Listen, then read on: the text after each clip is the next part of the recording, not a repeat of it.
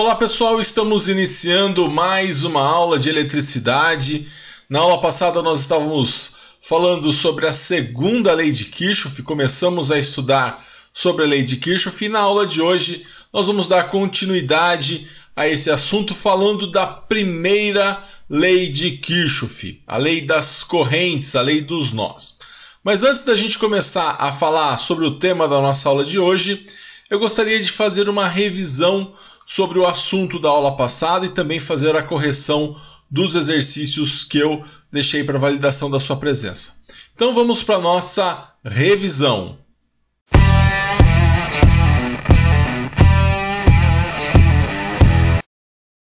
Legal, então dando início à nossa revisão, é, nós vimos na aula passada a, a segunda lei de Kirchhoff, tá? É, nós vimos no geral né, que as leis de Kirchhoff, né, desenvolvidas aí, é, idealizadas pelo Gustav Robert Kirchhoff, é, que viveu aí de 1824 a 1887, ele era um físico alemão e ele desenvolveu essas duas leis a partir da análise de circuitos. As leis de Kirchhoff, né, a primeira lei de Kirchhoff que nós estudaremos hoje, que é chamado de lei das correntes ou lei dos nós, né? ela é própria para circuitos paralelo, e também desenvolveu a segunda lei de Kirchhoff, que é as leis, a lei das tensões ou lei das malhas, que foi o assunto da nossa aula passada. Nessa segunda lei de Kirchhoff, nós vimos que, é, também chamada de lei das tensões, ela é referente à forma com que as tensões se distribuem nos circuitos série. Então você tem, tem ali um circuito série, você tem uma tensão da, na sua fonte, né? E essa tensão da fonte ela vai é, se distribuir pelos resistores ou pelos componentes em geral que você tem no circuito.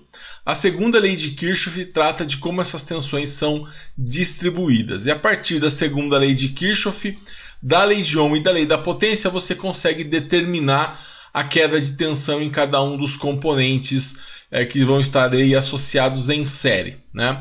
A lei de Kirchhoff ela serve somente para o circuito em série. Né? O circuito série, nós vimos as características principais. O primeiro de ter apenas um caminho para a circulação da corrente elétrica. Nós vimos também que a intensidade da corrente elétrica, o valor da corrente, é o mesmo ao longo de todo o circuito série. E nós vimos também que as cargas elas são dependentes uma da outra, tá? São as três características do circuito série, ou seja, as tensões elas vão se dividir, né? É, mas não de maneira igual, né? Elas vão se dividir de maneira proporcional às resistências. Isso causa uma interdependência entre elas. Então essas características são importantes para a gente compreender melhor a segunda lei de Kirchhoff, que diz o seguinte, né, que a soma das quedas de tensão nos circuitos, né, no, no circuito série, né, nos componentes de uma associação em série, ela é igual à tensão aplicada nos seus terminais extremos, né, igual à tensão da fonte, tá? Se a gente for é, aí traduzir isso, né?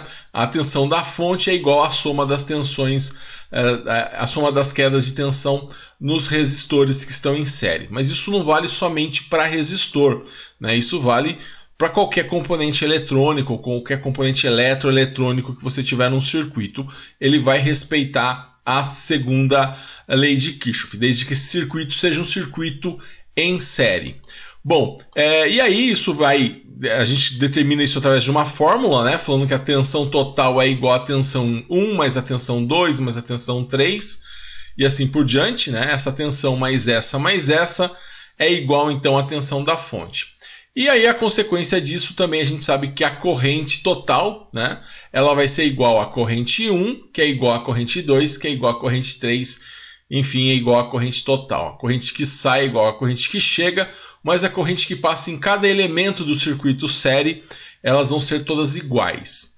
Então essa basicamente era a, a, o que nós, nós vimos né, a respeito é, do, do da, da, segunda lei de Kirchhoff. Né? Trabalhamos em cima de alguns exemplos na aula passada. E dentre esses exemplos eu deixei um exercício para validação da sua presença, no qual eu vou fazer a correção agora, tá? E esse exercício aqui, né, é, ele tinha aí como característica você tinha que achar os valores de tensão, né, nesse circuito, é, e aí, é, analisando esse circuito, você tinha uma fonte de 12 volts, um R1 de 80 ohms, um R2 de 20 ohms, e aí você tinha então que achar a tensão no resistor 1 e no resistor 2, ou seja, como que essas tensões se dividiriam, tá? Bom, e aí primeiro passo a gente calcular a corrente total, né? Como que a gente calcula a corrente total? É, olhando né, para a lei de Ohm, né, para o triângulo da lei de Ohm, onde a gente tem aqui, para achar a corrente, eu tampo a corrente e fica a tensão sobre resistência. Só que como eu quero achar a corrente total, eu vou pegar a tensão total e vou dividir pela resistência total. E aí a minha tensão total é 12 volts, mas, a minha resistência total eu não tenho, eu tenho que calcular ela aqui, que vai ser justamente quem? 80 mais 20, né? 80 mais 20 igual a 100 é a minha resistência total. Então eu vou fazer aqui 12 dividido por 100, né? que é a minha resistência total ou resistência equivalente. 12 dividido por 100 é igual a 120 mA. De posse da corrente total, eu sei então que como a corrente total é igual à corrente no resistor 1, que é igual à corrente no resistor 2, eu sei que tanto esse R1 quanto esse R2, na corrente que passa por eles, também será de 120 mA. Sendo assim, eu tenho tensão e resistência em cada um desses resistores.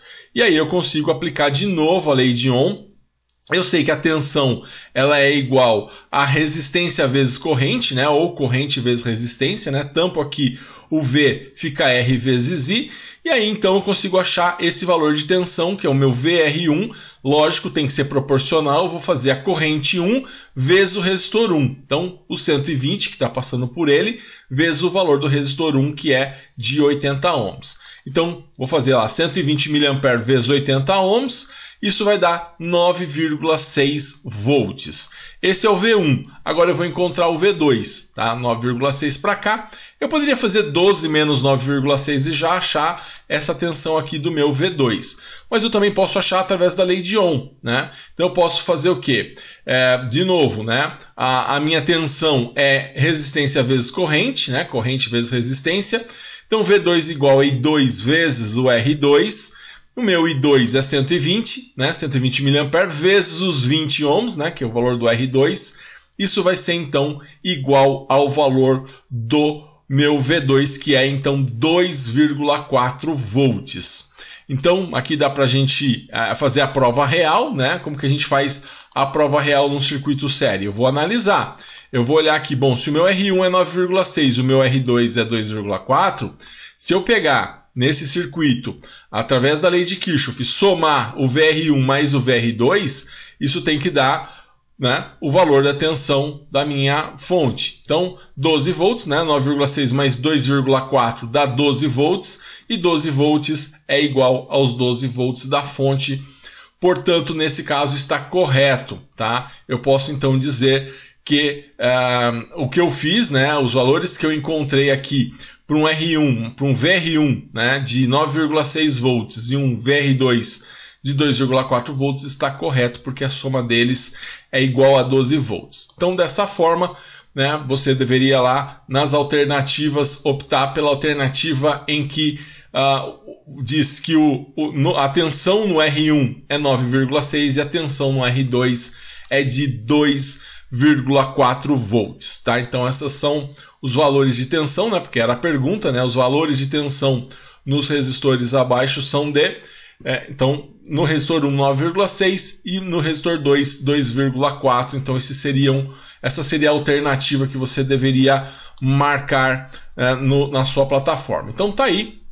Esses são os exercícios que eu, esse é o exercício que eu deixei para validação na sua presença. Tá aí uma breve também recapitulação sobre o que nós vimos a respeito da segunda lei de Kirchhoff. E agora nós vamos ao tema da nossa aula de hoje.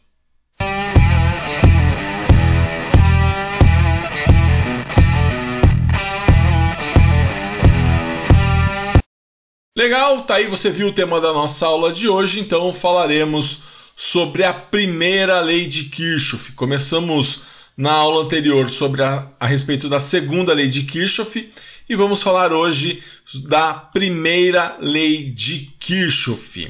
Pessoal, a primeira lei de Kirchhoff é chamada de lei das correntes.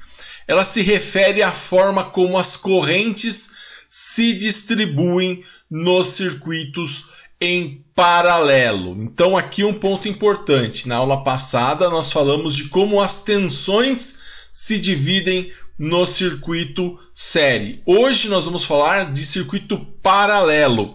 E aí, no circuito paralelo, as correntes se distribuem. Então, a primeira lei de Kirchhoff vai tratar de como que as correntes no circuito paralelo se distribuem, como que essas correntes elas se dividem ao longo do circuito paralelo.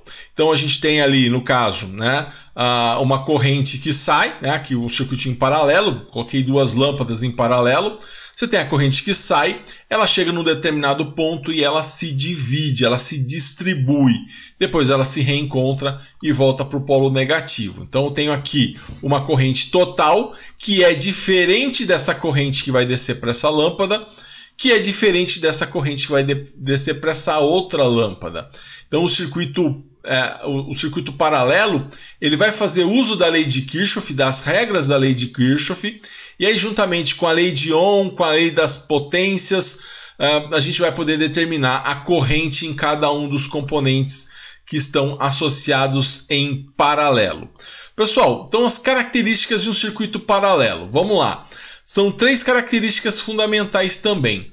Uh, ela fornece mais de um caminho à circulação da corrente elétrica, então ela é diferente, o circuito paralelo é diferente do circuito série, porque o circuito série ele só tem um caminho para a corrente. Já o circuito paralelo ele tem mais de um caminho para a corrente elétrica. Outra característica é a tensão em todos os componentes associados é a mesma, então você tem uma mesma tensão em todos os elementos do circuito paralelo. Tá? A tensão é a mesma. E também a outra característica é que as cargas são independentes, ou seja, você pode ter uma corrente no determinado resistor diferente de uma corrente em, é, diferente de uma corrente num outro resistor se eles estiverem em paralelo. Então dessas características, né, elas são importantes para a gente compreender, né, a lei de Kirchhoff aplicada ao circuito paralelo que é a primeira lei de Kirchhoff. Então a primeira lei de Kirchhoff diz o seguinte, que a soma das correntes que chegam a um nó, ela é igual à soma das correntes que deles saem. Então, isso quer dizer o seguinte, que a minha corrente total, ela é igual à minha corrente 1 mais a minha corrente 2 mais a minha corrente 3 e assim por diante. No circuito, a gente tem aqui então uma corrente total, ela vai chegar num ponto que a partir daí ela vai ter dois caminhos: descer aqui para esse ponto ou descer para esse outro ponto aqui. E aí esse ponto ele é chamado de nó. É em um nó onde a corrente ela tem a opção da escolha, ela tem a opção da separação. Chegando nesse nó, ela vai se dividir uma parte para o I1 e a outra parte para o I2. Tá? E o que a lei de Kirchhoff, a primeira lei de Kirchhoff, ela está nos dizendo é que a corrente total ela vai ser igual à soma dessa corrente que veio para essa lâmpada mais a, a, a corrente que veio para essa lâmpada. A corrente total ela é igual a I1 mais I2, no caso se eu tiver apenas dois elementos. E aí eu tenho, se eu tiver N elementos, eu vou somando as correntes que foram separadas para afirmar então que elas, a, a, soma dessas correntes vai ser igual à minha corrente total. Então aqui eu tenho uma divisão da minha corrente elétrica. Tá? É diferente do circuito, do circuito série, em que a corrente no circuito série ela era a mesma. Né? Já no paralelo, a corrente ela se divide. Ó, veio uma parte para cá, uma parte para cá. É só você seguir o, o caminho da corrente, você vai ver que ela chega num ponto em que ela vai se separar. Né? Essa separação, depois, quando eu juntar, se eu somar essa com essa, tem que ser igual a essa, eu não posso nem perder, nem criar corrente. Aliás, esse é o princípio de Lavoisier, que nós vimos lá na nossa revisão. Bom, e aí, pessoal, a partir disso, né, a partir dessa, dessa, dessas duas correntes que se separaram, é, elas vão se reencontrar, né? vai chegar aqui num outro nó, então elas vão chegar até esse nó, tanto o I1 quanto o I2, e aí ela vai retornar como corrente total. Então imagina só, eu venho. É, é semelhante a uma. A uma, uma a um caminho percorrido por carros, né? Você vem aqui com 30 carros. Né? Chega num ponto, você tem dois caminhos para os carros. Ou imaginar que desceram, é, vieram por esse caminho 20 carros e por esse caminho vieram 10 carros. Se eu somar 20 com 10, tem que dar os 30 daqui. Tá? E 20 mais 10 vai dar os 30 que vão retornar para cá. Depois eles se agrupam e eu vou ter passando por aqui os mesmos 30 carros. Tá? Então a corrente que sai é sempre a corrente que chega, tanto a corrente que sai quanto a corrente que chega, é, nós vamos chamar de corrente total, porque é a máxima corrente que eu tenho no circuito, mas as correntes que vão passar pelos elementos não. Aí vai depender do, de ter mais resistência ou menos resistência. Tá? É, e aí, então, essa é a aplicação da primeira lei de Kirchhoff, que também define o seguinte: que eu tenho lá uma tensão total, uma tensão na minha fonte, ela vai ser igual a essa tensão aqui, que vai ser igual a essa tensão aqui. Então, no circuito paralelo, as tensões são iguais nos elementos. Então, a tensão da fonte ela é igual à tensão 1, que é igual à tensão 2, e se eu tiver lá mais 3, 4 elementos, a tensão vai ser a mesma. Então, essas duas características importantes. A corrente se divide. A corrente não é a mesma, a corrente se divide. Já a tensão ela é a mesma em todo o circuito, tá? Mas lembrando, desde que você tenha então um, um circuito paralelo, tá? Isso aí só vale para circuito paralelo. É, a, lei, a primeira lei de Kirchhoff só vale se o circuito for paralelo. Bom, vamos ver isso na aplicação então de um exemplo, tá? Com resistores. Então vamos pegar aqui, ó, vamos calcular as correntes existentes então nesse circuito descrito abaixo. Então eu tenho uma fonte de 220, tenho aqui minha corrente total, tenho aqui o meu I1, tenho aqui o meu I2, tenho o R1 de 2K, o R2 de 500 ohms, e eu quero então achar as correntes. Então eu quero achar o meu IT, que é minha corrente total, quero achar o meu I1 e quero achar o meu I2, que são as correntes desse circuito. Bom, vamos começar como aqui? Primeiro passo, vamos achar o nosso I1. Eu consigo achar o meu I1. Como que eu consigo achar o I1? Ora, é, para achar o meu I1, eu vou usar a lei de Ohm, tá? E para achar a lei de Ohm, eu preciso de duas coisas. Né? Vou dizer que o meu I1 ou meu IR1 aqui, a corrente vai descer nesse resistor de 2K. É, essa corrente ela vai ser quem? O VR1, a tensão nesse resistor, dividido pelo meu R1. Aí você fala assim, ah, mas eu não tenho esse meu VR1, eu tenho a tensão da fonte.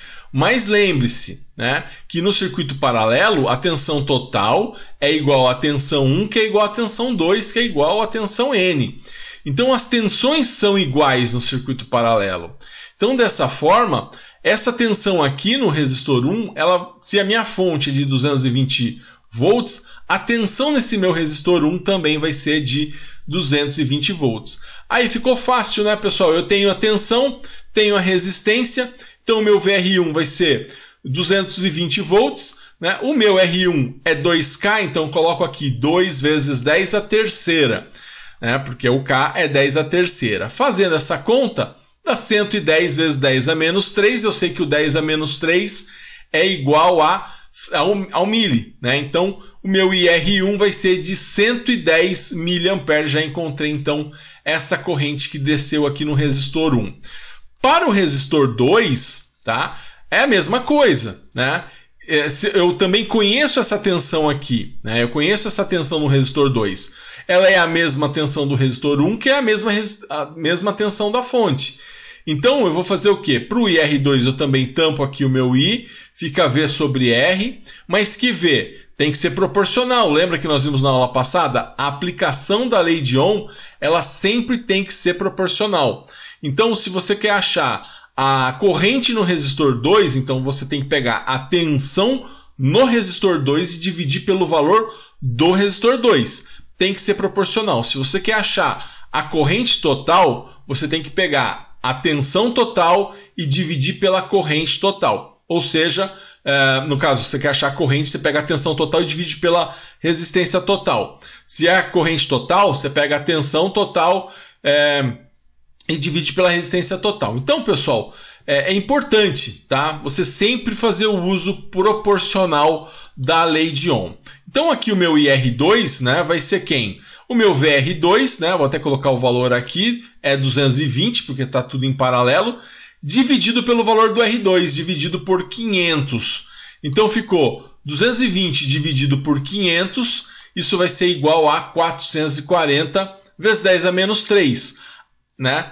Porque eu apertei engenharia, deu 10 a menos 3, aí eu vou trocar esse 10 a menos 3 pelo mili. Então meu IR2 é 440 mA e achei então essa corrente, tá? Então achei a corrente que desceu aqui no resistor 1 e a corrente que desceu aqui no resistor 2. Então, pessoal, dessa forma, né, achei já duas correntes. E agora eu preciso achar quem? Eu preciso achar minha corrente total. Né? E como que eu faço? Eu não tenho resistor aqui para aplicar a lei de Ohm.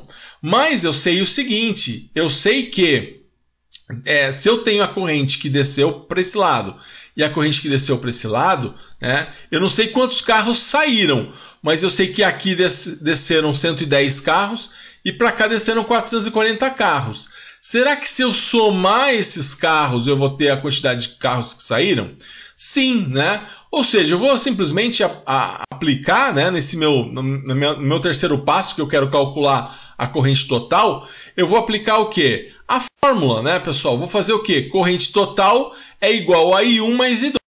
Vou pegar essa corrente mais essa, né? I1 mais I2. Então vai ficar como? Corrente total o I1 e IR1, né, dependendo uh, da forma que a gente chamar, mais o IR2, né, que é a corrente que passa no resistor 2. A soma dos dois vai ser o quê? 110 mA mais 440 mA. Então a minha corrente total vai ser a soma desses dois, que vai dar 550 mA, e essa é a minha corrente total. É a corrente que vai passar aqui né, que, que vai sair, aliás, da fonte. Né?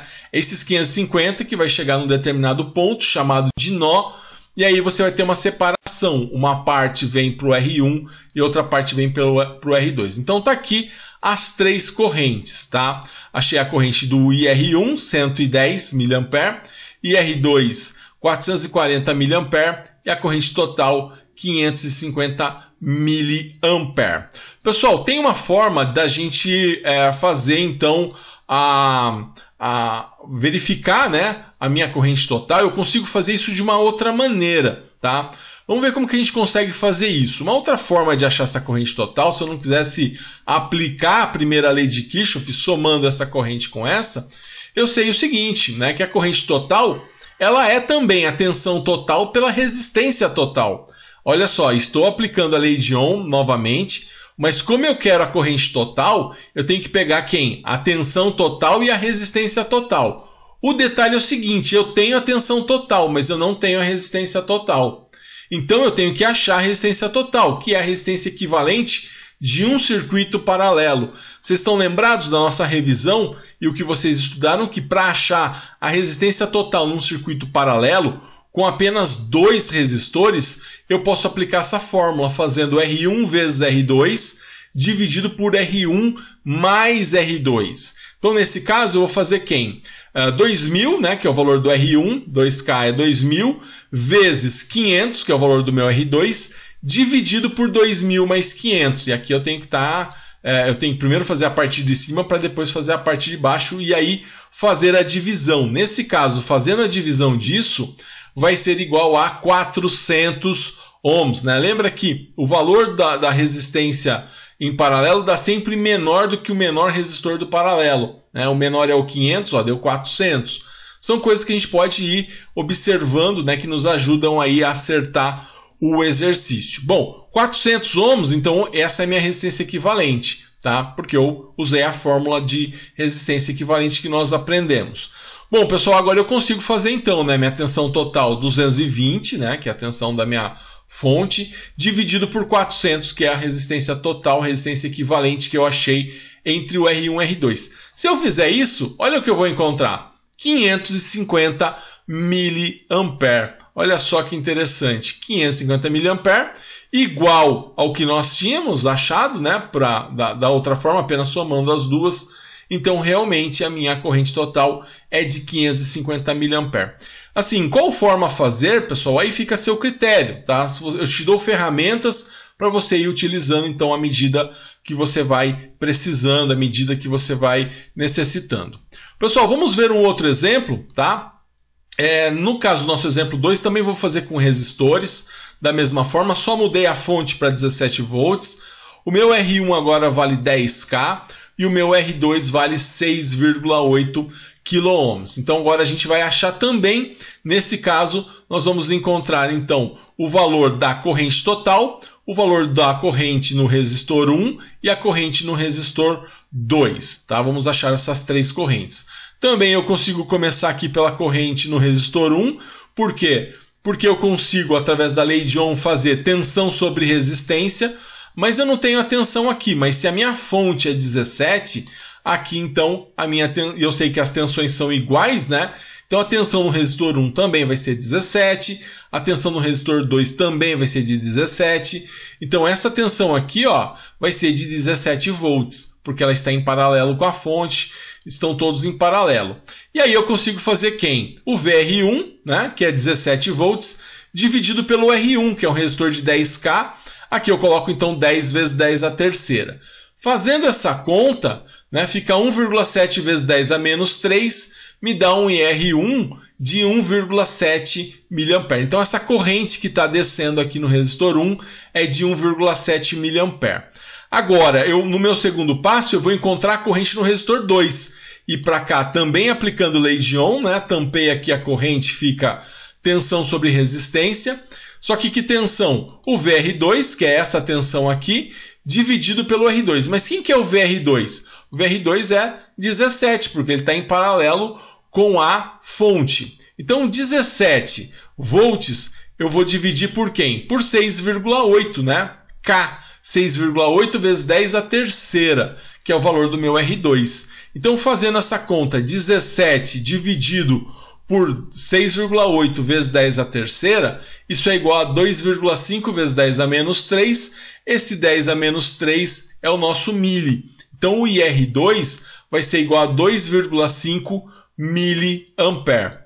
Então, tá aqui, ó, essa corrente que vai descer para cá vai ser de 2,5 mA.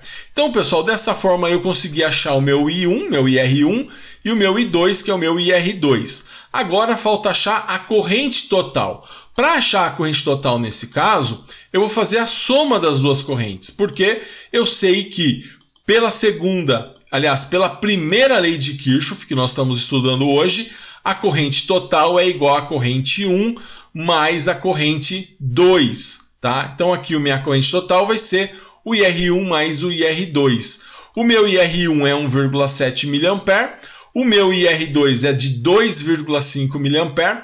Vou somar os dois, 4,2 mA. Então essa é a minha corrente total de 4,2 mA. Então eu venho com 4,2, ó, chega em um nó, desce 1,7 para cá, desce 2,5 para cá eles se reencontram e volta aqui para a parte negativa 4,2 miliampere. Então tá aqui, essas são as três correntes. Poderia ter achado ainda essa corrente total de uma outra forma, como nós fizemos no, no caso do exercício anterior. Né? Eu consigo achar de uma outra forma. Fazendo o quê? Eu sei que a corrente total é igual a nossa é, a nossa tensão total dividido pela nossa resistência total. Vamos fazer mais esse caso? Né? Então fica assim.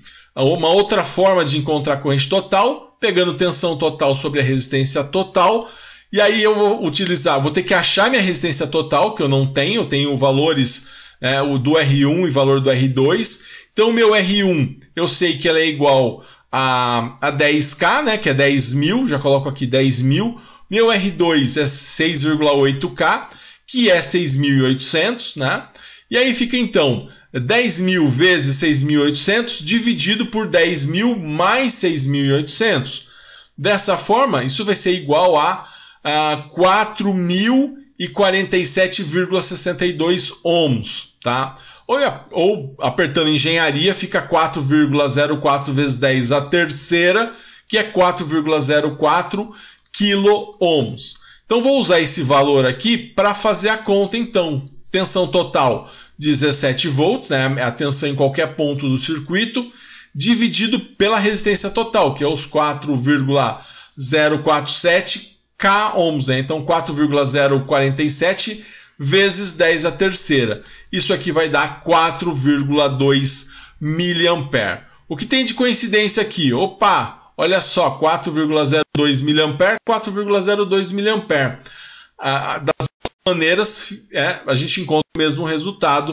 Isso significa que a gente tem duas formas de fazer a mesma coisa. Então tá aí, esse é o nosso exemplo 2, né? Para a gente poder então é, ver a aplicação do, da, da, da, primeira lei de Kirchhoff, além da lei de Ohm e também né, a gente poder analisar os circuitos. É importante você, como técnico, desenvolver esse senso né, de análise de circuito. E a gente vai desenvolvendo isso analisando e observando os circuitos. Então vamos observar mais um. Né? Esse já é diferente, esse eu já fiz ele com lâmpadas. Coloquei aqui uma fonte de 120 volts. Né? Digo que uma lâmpada é de 30 watts, a outra lâmpada é de 60 watts.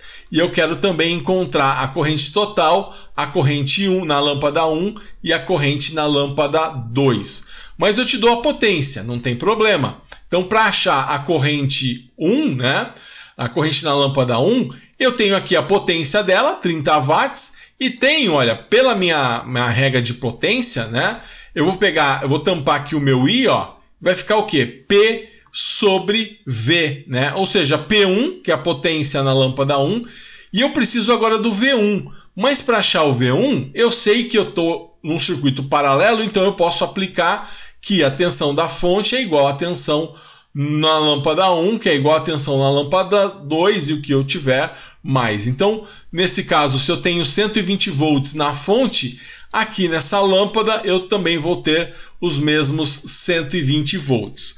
Então, pessoal, vou colocar aqui, ó, 30 watts, que é a minha potência na lâmpada 1, dividido por 120 watts, que é a tensão na lâmpada 1. Então, 30 dividido por 120, isso é igual a 250 vezes 10 a menos 3, 250 vezes 10 a menos 3, que é igual a 250 miliampere. Então, essa é a minha corrente 1, é a corrente que vai descer aqui pela minha lâmpada 1.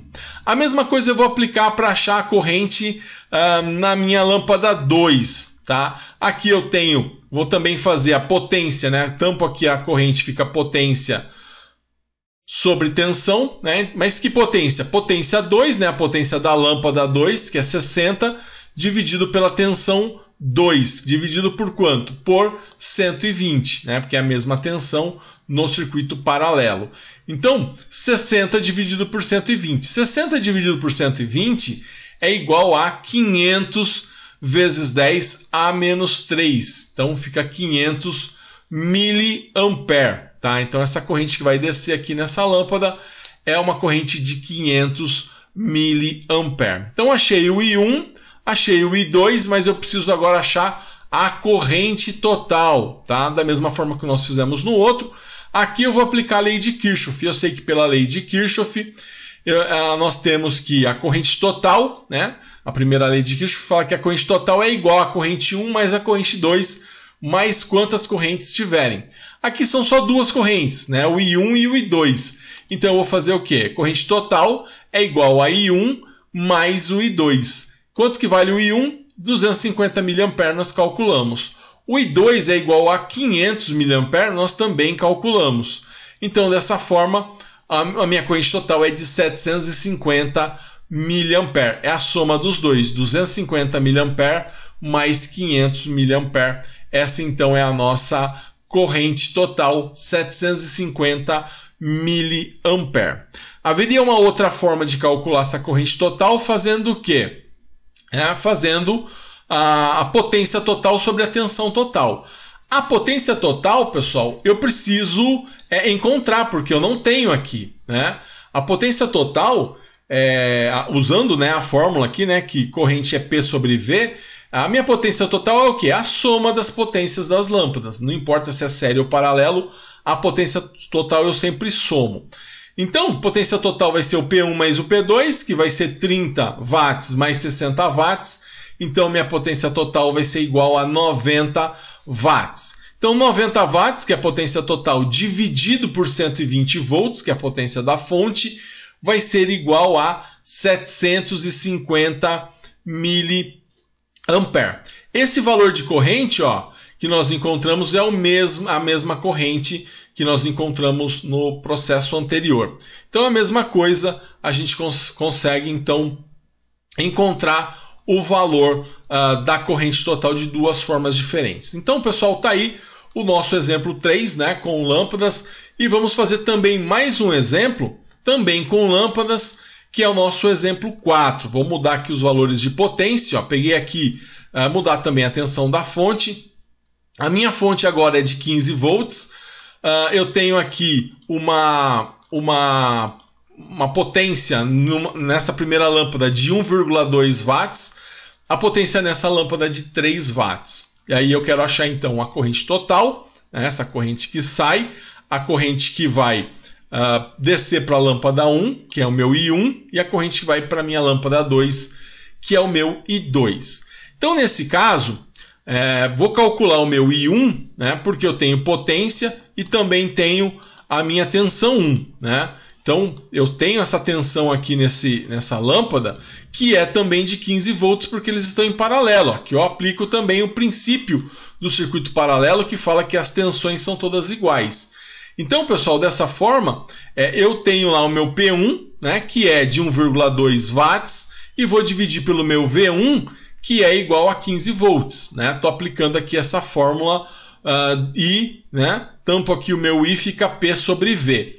Então isso aqui vai ser igual a 1,2 watts dividido por 15 volts. Então 1,2 watts dividido por 15 volts é igual a 80 vezes 10 a menos 3. Né? Esse 10 a menos 3 é um mili, então a corrente 1, que é essa corrente que está descendo aqui, é igual a 80 miliampere. Tá? Encontrei então a corrente 1. Vou usar o mesmo procedimento para achar minha corrente 2. Fazendo o quê? Fazendo então, a, pegando minha potência 2, que é esses 3 watts, e dividindo pela, pelo meu V2. Quem é o meu V2? É a mesma tensão, né? Porque está tudo em paralelo, então a tensão é a mesma. Então vai ser de 15 volts. Então vai, na hora de achar minha corrente, eu pego P2, 3 watts, dividido por V2, que é 15 volts, então, 3 watts dividido por 15 volts é igual a 200 vezes 10 a menos 3. Esse 10 a menos 3 é um mili, então corrente 2, 200 miliampere. Então, encontrei né, a corrente 1, a corrente 2, e agora, aplicando a lei de Kirchhoff, né, eu vou achar minha corrente total. Eu sei que pela lei de Kirchhoff, uh, a minha corrente total é igual ao meu I1 mais o I2 mais quantas correntes nós tivermos. Então, nesse caso, corrente total é igual a I1 mais I2, que é igual a 80 mA mais 200 mA. Então, a minha corrente total vai ser de 280 mA. É essa corrente aqui que está saindo da fonte. Ela, ela sai 280, chega aqui, vem 80 para cá, 200 para cá. Ela se dividiu e aí depois ela se reencontra com a soma das duas, que é igual a 280. Outra forma de achar essa corrente, sim, né, esses mesmos 280 mA, nós podemos achar fazendo o quê? Uh, fazendo corrente total, né, é igual a potência total sobre tensão total. Aqui eu não vou usar resistência, porque eu não tenho resistência de nada, aliás. Então a corrente total é potência total sobre tensão total Vou achar quem? Bom, a minha potência total, ela é a soma das duas, né? Então, potência total é P1 mais P2, não importa se o circuito é série ou paralelo, eu vou fazer a somatória para achar a potência total. É, nesse caso, então, 1,2 watts mais 3 watts, isso é igual a 4,2 watts. Então, minha corrente total vai ser de 4,2 watts dividido por 15 volts, tá? Então isso vai ser igual a 280 miliampere, tá? Que é a minha corrente total aqui. Fiz a divisão dos 4,2, né? que é a minha potência total, dividido pelos 15 volts, que é a minha tensão total, aliás, é a tensão em todo o circuito. E aí, o que nós chegamos à conclusão? Que esses mesmos 280 é, é, é, é o que nós encontramos também usando a primeira lei de Kirchhoff para achar a corrente total. Então, uh, isso significa que está correto, né? Fizemos de duas formas diferentes e encontramos o mesmo valor. Então tá aí essa, esse exemplo 4 aí utilizando lâmpadas também. Uh, nós vamos fazer agora um outro exemplo, tá? Onde a gente vai modificar aí algumas coisas. Então, é, vamos pegar aqui esse exemplo 5, ó, colocar aqui para vocês o exemplo 5. Ó, tá aqui. É, calcule os valores de é, IR1, né, a corrente no resistor 1, a corrente no resistor 2, né, e eu quero também o valor do resistor 2. Então eu quero o IR1, o IR2 e o R2. Corrente total não, porque eu já te dou, eu falo que ela é de 150 mA. Então eu não te dou o valor do R2, né, te dou o valor do R1, é, e aí eu peço então o IR1, o IR2 e o R2. Bom, olhando aqui, né, a gente observa o seguinte: é, dessa forma, né, eu tenho lá, eu posso calcular a corrente no resistor 1. Por quê? É, se eu tenho 10 volts aqui na fonte, eu sei que a corrente tampando aqui o I é V sobre R, né? Então eu vou pegar o meu VR1, tensão no resistor 1, e vou dividir pelo meu R1, que é de 100 ohms. Só que o meu VR1, né, eu não tenho aqui, mas eu consigo achar. Por quê? Eu tenho que saber que esse circuito é um circuito paralelo. Né? Se ele é paralelo, então todas as tensões são iguais. Né? Regra para o circuito paralelo. Então, essa tensão no resistor 1, se a fonte é de 10 volts, a tensão no resistor 1 também vai ser de 10 volts. Então, eu tenho aqui o VR1 de 10 volts, eu tenho um R1 de 100 ohms então eu vou fazer o quê? 10 dividido por 100, essa então vai ser o valor da minha corrente. Isso vai dar 100 vezes 10 a menos 3, que é igual a 100 mA. Então essa corrente que desceu para o resistor 1 vai ser de 100 mA. Uh, bom, então achei essa corrente, né? eu tenho o meu IR1. Uh, agora eu vou fazer a mesma coisa para o R2, só que aqui eu tenho um problema, eu não tenho o valor do R2. Eu não consigo resolver da mesma forma. Por quê? Eu até consigo achar, eu até sei qual é o valor do meu R2. Eu sei que o valor do meu VR2, né? Eu sei que o meu VR2 é de 10 volts, mas eu não tenho a resistência, então eu não consigo achar através da lei de Ohm. Mas aí, pessoal, a gente lembra do seguinte, a gente lembra da lei de Kirchhoff, né? Eu sei que a corrente total é igual à corrente que está descendo aqui, mais a corrente que está descendo aqui. Nesse caso, eu tenho a corrente total. Eu tenho também a corrente que está descendo aqui, eu só não tenho a outra corrente. Porque se eu achar essa corrente, eu acho também o valor da resistência. Pessoal, então o que, eu vou fazer? Olha, corrente total, essa corrente que está chegando no nó, ela vai ser igual a quem? Essa corrente está descendo, né, que eu tenho o valor, que é de 100 mA, mais a corrente do resistor 2, né, que é essa corrente que vai descer pelo resistor 2. Então, montando isso, a minha corrente total é 150 mA, Beleza? O meu, o meu IR1, né, nós calculamos há pouco, ele é igual a 100 mA, né? E o meu IR2 eu não tenho e é quem eu quero achar.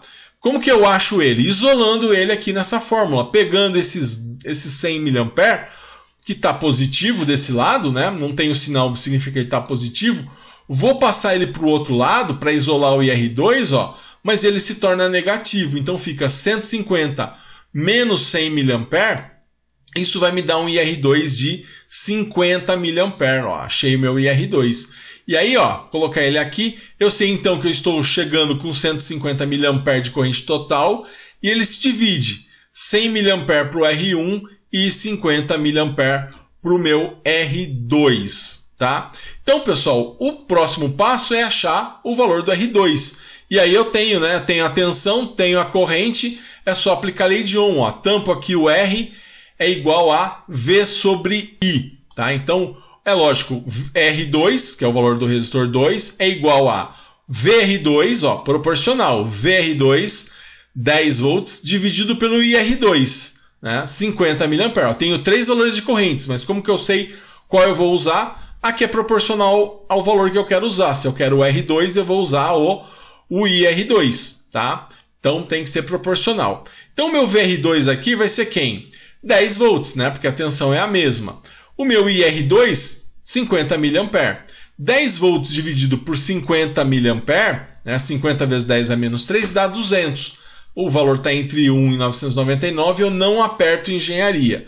Achei então o valor do meu R2 como sendo de 200. Tá? Então achei os três itens que foram solicitados. Ó. O IR1 igual a 100 mA, o IR2 igual a 50 mA, é, aliás, e, e, o, e, o, valor do R2 igual a 200 ohms. Tá? Então tá aí esse o nosso exemplo 5. Tá? Então, nosso exemplo 5, uh, ah, faltou colocar aqui então o nosso valor do R2 200 ohms.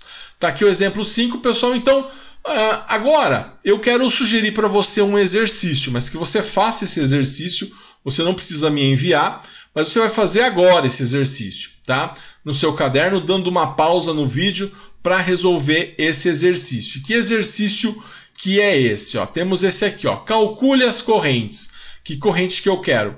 Eu quero a corrente total, eu quero o I1 e eu quero o I2, tá? No circuito abaixo. Então, quem que é a corrente total? Essa corrente que está saindo da fonte. Quem que é o I1? É o que está indo para uma fonte, né? uma, uma desculpa, está indo para uma lâmpada de 3 watts. E o meu I2 é o meu IR2, é a corrente que está passando no resistor 2, que é um resistor de 320 ohms. Uh, tenho aqui uma fonte de 24 volts, então você vai encontrar o valor desses três, desses três parâmetros. Então eu quero corrente total, eu quero o I1 e eu quero o I2. Ou seja, eu quero as três correntes que vão passar por aí. Você vai ter que usar tanto o triângulo da potência, né? Porque tem coisa que eu te dou resistência, tem coisa que eu te dou potência. Você usa o triângulo da potência para achar a corrente na lâmpada e aí você tem a opção de usar o triângulo da, da, da lei de Ohm para achar a corrente, então, no seu R2. Então, pessoal, agora você vai pausar o seu vídeo, tá? Para tentar fazer então essa questão. Pausa o vídeo, faz a questão e eu volto na sequência com a resposta.